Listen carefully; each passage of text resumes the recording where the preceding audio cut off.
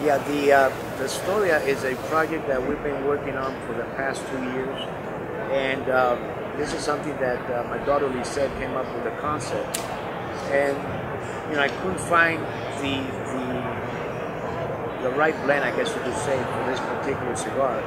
And about six months ago, we decided that you know this was the moment now to uh, to do it. We had we've had the bands for over two years now, and uh, we started working. You know, I came across uh, some uh, San Andrés wrapper, which uh, you know it's a wrapper that I love, but I hadn't done anything with it because I couldn't get consistency and and uh, and delivery of it. So now, you know, that being said, you know, we've got um, plenty of that tobacco. This is why we decided to do the story. And basically, it's uh, it's a cigar with a San Andrés, a Mexican wrapper. It has a Sumatra binder, and the filler is all Nicaragua. And I'm very happy to say that the uh, the, the, the uh, acceptance here in the show has really been tremendous. So we made the right move at the right time.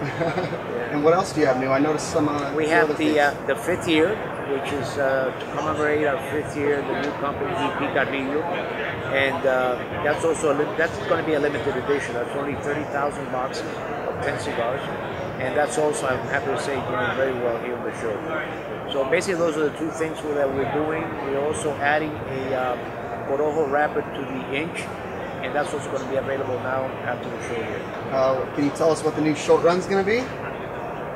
Uh, I'm still working on that, but it'll be good. It'll be good. Awesome. Well, thanks for talking to us and telling Thank us about you. your new stuff. Thank you very much.